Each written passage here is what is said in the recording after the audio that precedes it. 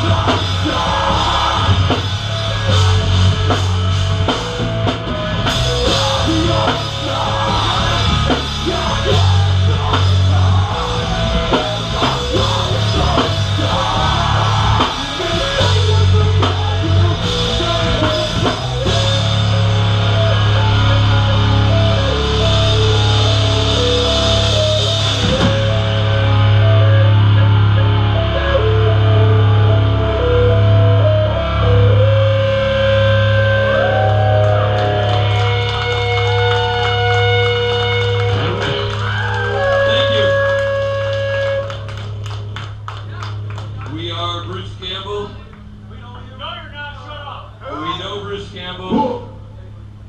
Not know, but we watched a bunch of movies with him in it.